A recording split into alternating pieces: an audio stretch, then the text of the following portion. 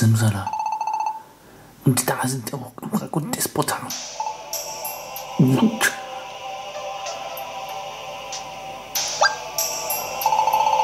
habt ihr Grudon etwa tatsächlich besiegt?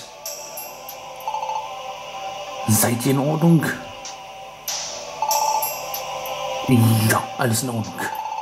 Es geht mir gut, aber wir müssen diesen Ort sofort verlassen. Und was ist mit Kraudon? Wird es ihm gut gehen? Ihre Sorgen sind unbegründet. Es wird nur alsbald wieder erwachen. Es war außer sich vor Zorn, weil es aus dem Schlaf gerissen wurde. Und dann hat es vollkommen die Kontrolle verloren. Es sollte sich schon wieder beruhigen. Ah, die Erde bebt schon wieder. Wie weg. Schnell, schnell weg von hier. Schnell. Nachdem Grodon besänftigt war, verließ das Team von Zwergi den Dungeon und kehrte mit Simsalas Team zum Pokémon-Platz zurück.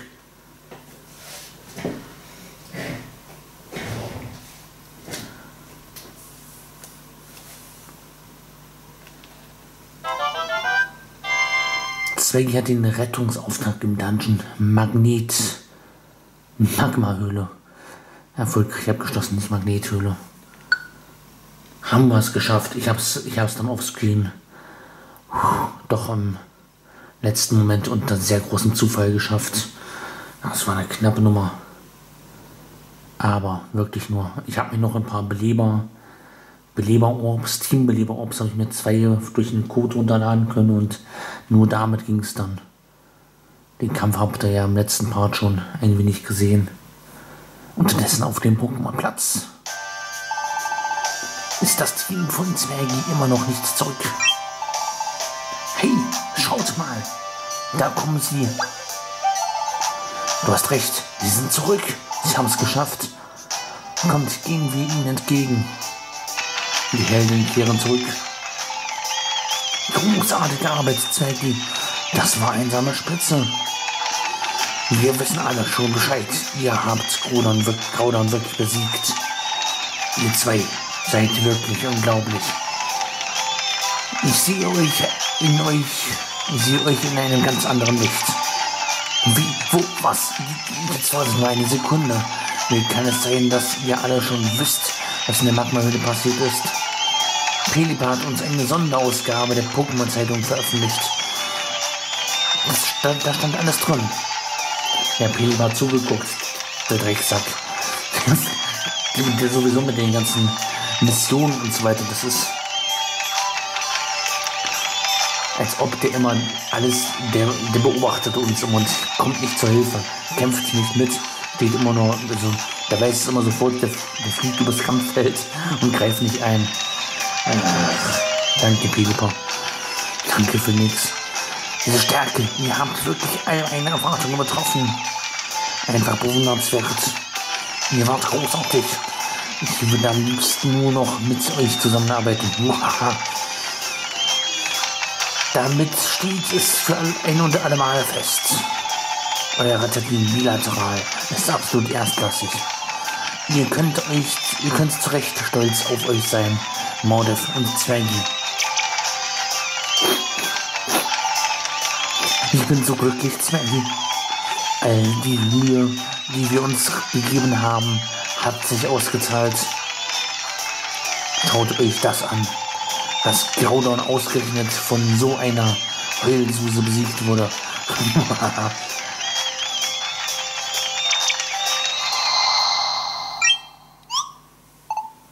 Huch. Was, was war das gerade? Ich habe ganz kurz etwas gehört. Oder bilde ich mir das nur ein? Nein, ich habe es auch gehört.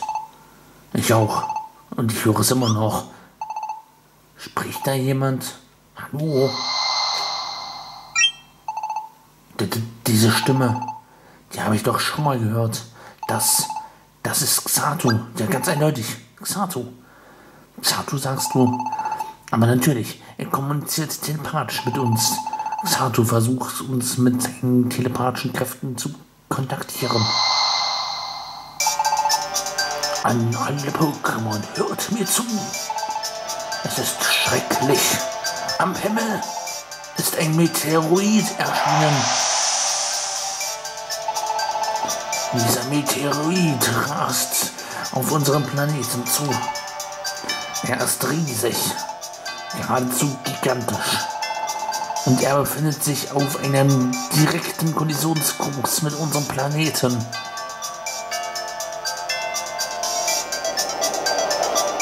Oh, Schreck. Da ist er, der Komet. Meteorit. Wie ihr wisst, haben sich seit kurzem zahlreiche Naturkatastrophen ereignet. Ich weiß nun, weshalb das Gleichgewicht Welt, der Welt gestört wurde. Das war alles die Schuld dieses Meteoriten, der auf uns zurast. Wenn wir nichts unternehmen, wird er mit unserem Planeten zusammenprallen. Das hätte katastrophale Folgen. Wir müssen dies um jeden Preis verhindern. Aber was können wir dagegen tun, Xatu? Weißt du, wie wir den Meteoriten stoppen können? Ja. Ich kenne einen Weg. Es gibt nur eine Möglichkeit, die Katastrophe noch abzuwenden. Ihr müsst Rayquaza um Hilfe bitten. Rayquaza? Wer, wer ist denn das, bitte? Ein legendäres Pokémon, das in der Ozonschicht hoch über den Wolken lebt. Bittet Rayquaza, den Meteoriten zu zerstören. Aber das wird wohl nicht leicht werden. Rayquaza lebt hoch in den Lüften. Niemand hat ihn je zu Gesicht bekommen. Wenn er in so hohen Gefühlen lebt, wie sollen wir ihn dann erreichen? Simsana und ich werden gemeinsam unsere Teleportationskräfte verstärken. Auf diese Weise, achso, das ist Auf diese Weise sollte, sollte es gelingen, Pokémon hoch in die Luft zu senden. Aber seid gewarnt. Dieses, diese Pokémon erwartet ein Riese, eine Reise ins Ungewisse. Niemand weiß, was sie in der Welt über die Wolken erwartet. Nicht einmal ich. Kein Problem. Wir melden uns freiwillig. Äh, also, ich will ehrlich sein. Ich hatte gehofft, dass ihr das sagen würdet. Aber seid ihr auch wirklich sicher? Ich weiß nicht, welche Gefahren euch dort oben erwarten. Mir ist schon klar, dass diese Mission nicht ganz ungefährlich ist. Aber ich wünsche mir, dass alle, Pokémon in Frieden leben können. Modef und Zwergi. Könnt ihr mich hören? Ich bin es, Xatu. Ich werde mich mit Simsana absprechen, wie wir unsere Kräfte verstärken können. Morgen früh geht es los. Ähm, und darf, hab ich noch, darf ich noch ein Wort mitsprechen? Darf ich, habe ich noch was zu melden hier? Ich würde, also ich, ich meine, ich bin stolz auf deine Tapferkeit und dein, dein Abenteuermut, aber ähm, bevor du jetzt zusagst, Modi, ähm, ja, ähm, Rayquaza, ich vermute mal, wir müssen gegen den kämpfen und die Graudon, äh, ja, äh, das war, ähm, ob wir den besiegt kriegen, Rayquaza, das ist, das ist Rayquaza. Meine Fräse. Morgen früh geht's los. Bis dahin solltet ihr euch ausruhen. Ein letztes Wort der Warnung. Euch erwartet ein gefährliches Abenteuer. Aber ihr dürft nicht, ihr dürft einfach nicht scheitern. Keine Sorge, das wird ein Klacks. Der ist hier schon wieder, der ist schon wieder übermütig. Das ist ein Klacks. Es ist, du hast doch gerade eben mit mir, du hast doch vor kurzem hier den, den Graudern-Kampf gemacht. Das ist, ist, ist, ist, ist, ja. Stimmt's oder habe ich recht? Ähm, naja, also ich würde das so ein bisschen, ich würde, ja gut, von mir aus, wenn es denn sein muss. Zeigi, bist du bereit, in die Welt, den Wolken aufzubrechen? nee, gar nicht. Also ich, ich kann das nicht, kann das nicht anders machen. Aber Mann. Kollege. Der Meteorit ist auf Kollisionskurs. Es sieht übel aus. Ich kann leider nichts ausrichten und ist ganz Hoffnung gut auf euch. Verantwortung wiegt sicher schwer auf euren Schultern, aber wir zählen auf euch. Ich sitze Jartner ein und warte, bis dein Team zurückkommt, Zwängi. Ja, ich will aber nicht. Will nicht nochmal. Ich habe doch gerade schon Crowdon besiegt. Reicht das nicht? Ich habe schon mal die Welt gerettet. Jetzt muss ich es nochmal tun. Wenn jemand das schafft, dann ihr. Viel Erfolg. Ich werde auf euch warten. Ich bin sicher, dass ihr es schafft und heil zurückkommt. Zwecki, du und dein Team, ihr seid unsere letzte Hoffnung. Kommt so zum Dekatbank. Ich habe kein Geld. Alles hängt von euch ab. Enttäuscht uns nicht. Ich kann mir gar nicht vorstellen, wie es über den Wolken aussieht. Viel Glück. Quas ist ein legendäres Pokémon, nicht wahr? Es wird nicht leicht sein, euer Ziel zu erreichen. Wir dürft nicht scheitern. Die Lage ist wirklich ernst, aber ich denke, dass ihr es schafft, etwas dagegen zu unternehmen. Bitte gebt euer Bestes. Ihr könnt es schaffen. Ihr könnt den Meteoritenschlag verhindern. Ich gehe bald zu Xatu, um mich mit ihnen zu beraten. Ihr werdet morgen aufbrechen. Trefft bis dahin alle Vorkehrungen. Alle Vorkehrungen. Ich habe keine Items mehr. Ich habe kein, hab kein gar nichts mehr. Das wird. Wir werden auf ewig dort festhängen. Ich zähle auf euch. Team bilateral. Zieht los und rettet die Welt. Ein weiteres Mal. Na, wenn es dann sein muss. Großartig. Das klingt ganz so, als wärst du auf alles vorbereitet. Absolut nicht. Morgen brechen wir auf. Heute Nacht sollten wir uns daher gut ausruhen. Morgen ist der Großtag. Lass uns unser Bestes geben, Slangy. Gar kein Bock. Wild retten, gar kein Bock. Was? Was? Uff. Ich, ich fühle mich furchtbar. Äh, ist das ein Traum? Aber warum fühle ich mich so schrecklich? Was geht hier vor sich? So was ist mir noch nie passiert. Na, wie gefällt dir mein Traumfresser? Fühlt sich mies an, was?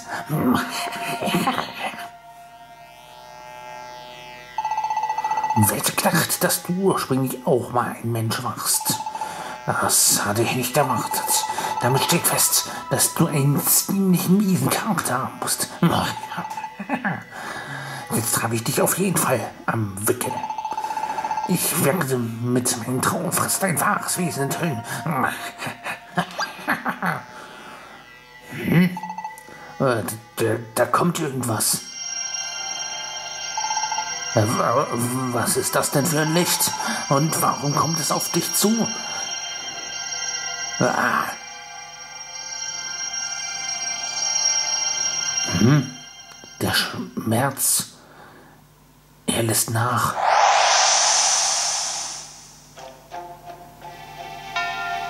Gador. Gador, verrätst du es mir jetzt? Verrätst du mir jetzt, wer ich bin? Ja, die Zeit ist gekommen. Du sollst erfahren, warum du hier bist. Ich werde dir alles sagen, was ich weiß.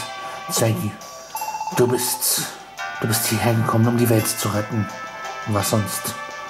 Ich, ich soll die Welt der Pokémon retten? Ausgerechnet ich? Genau. Wir haben herausgefunden, dass die Welt kurz vor dem Untergang steht.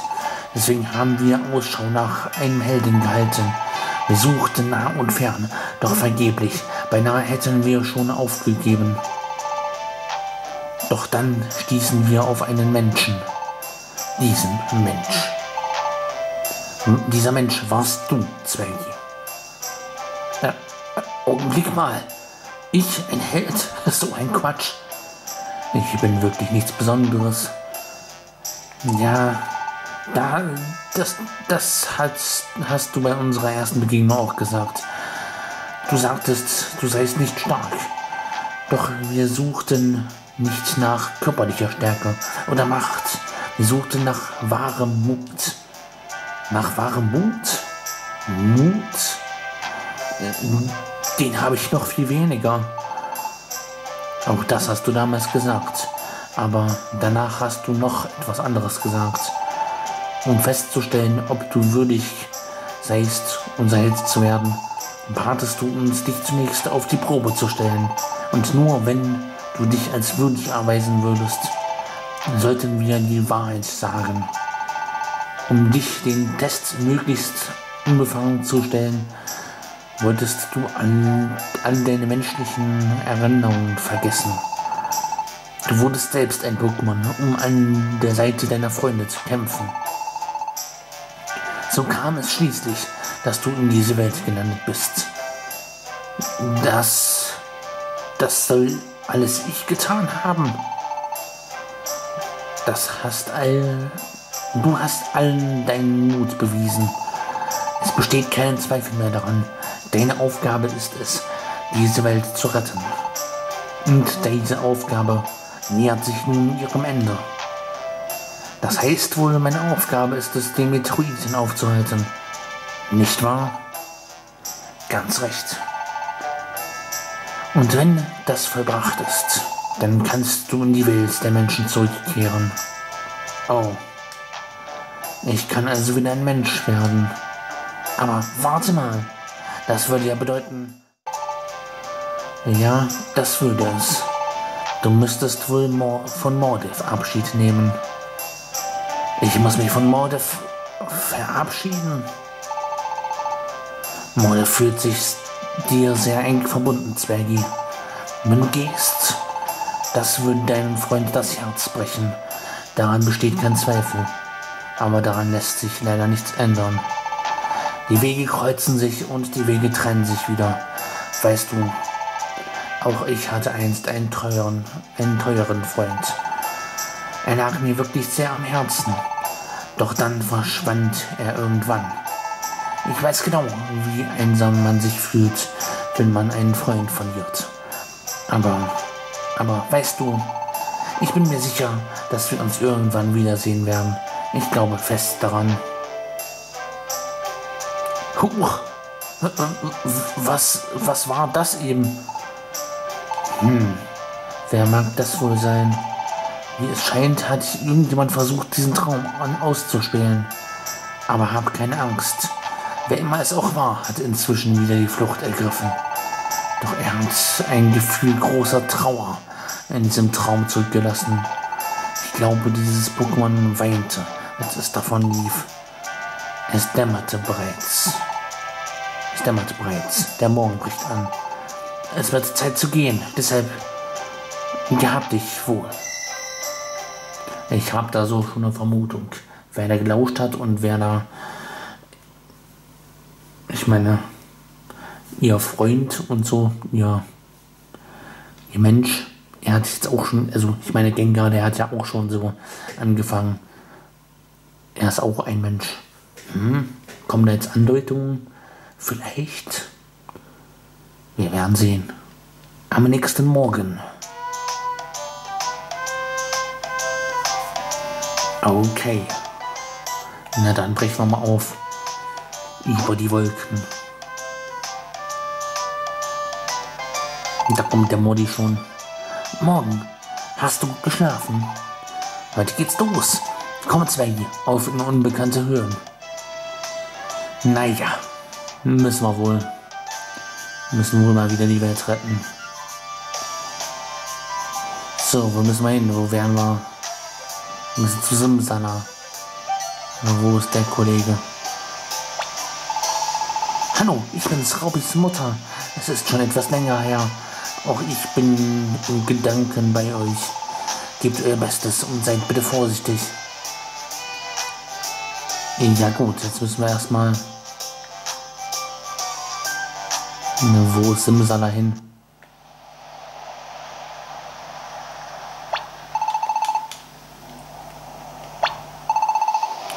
Ihr geht, nicht wahr? Viel Glück. Oh, bricht etwa auf. Bitte passt auf euch auf. Was haben wir denn da? Das ist eine Statue von Mobile. Von hier aus hat man einen tollen Ausblick auf die Meeresbrise. Ist sehr angenehm. Die Meeresbrise ist sehr angenehm. Hm. Wo geht's denn hier lang? Wir müssen zu Simsala. Himmelsturm. Der Dungeon Himmelsturm ist nun, kann nun erkundet werden. Na dann. Müssen wir wohl. Hin dort. Brechen wir auf. Ah, gut, dass ihr da seid. Was? Was macht Xato denn da? Er ist fast, es ist fast bereit. Das Teleport-Juwel. Das Teleport-Juwel?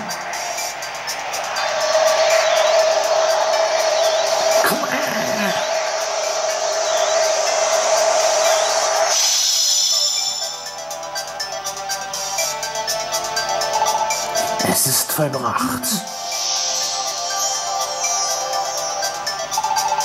Das ist das Teleport-Juwel. Es wird euch in die Welt über den Wolken schicken. Hier, Zwergi, nimm es an dich.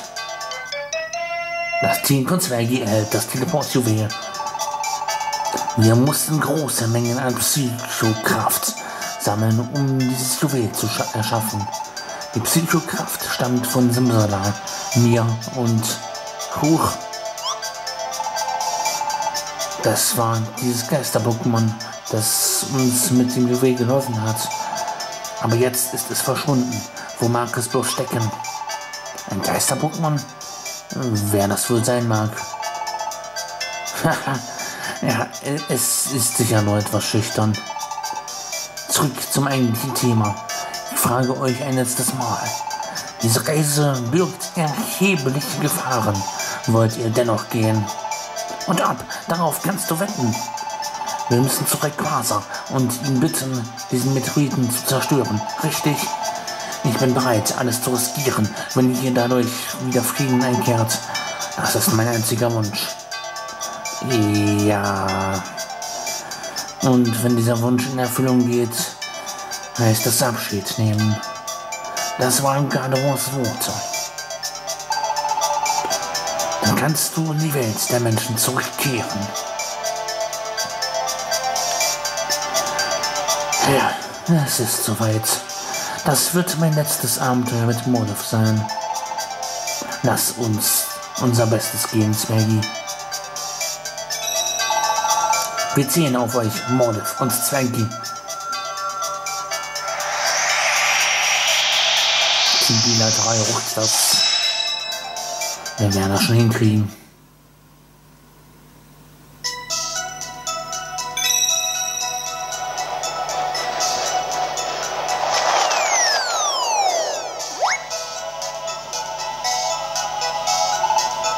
Autsch.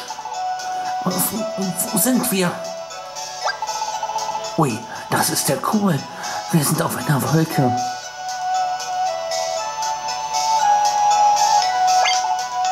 Oh, wow. Zwergi, sieh dir das an.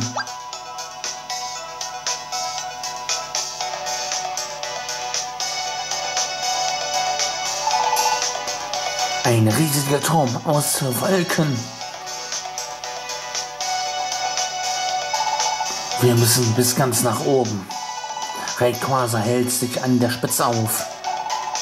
Geben wir unser Bestes, Zwergi.